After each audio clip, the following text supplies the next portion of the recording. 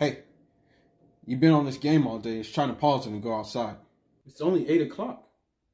And I can't pause it. It's an online game. Boy, I used to have games growing up. Now stop making excuses. Pause it and go outside. Dad, we literally live in Game Central. What do you want me to do? Go outside and count bullet casings? Which gang's the majority in this area? Bloods? But I don't really see what that has to do with anything. Here.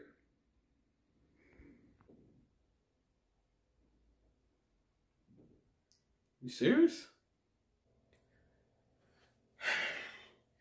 You see, this is why the world is like what it is today. This is why we have wars, kids shooting up schools, and incest. Because the kids today don't want to do nothing but stay at home and play the game all day. This is the last time I'm going to tell you. Go outside and play and don't come back until the street lights come on. What am I supposed to do if the opposite gang presses me? And y'all a bunch of punks too. Here, take this and get out my face. Dang, ain't nothing ever on TV. Okay, I'm back. Oh, hey son. So, how was it? We met some out of town college students. It sold them a dub for $80.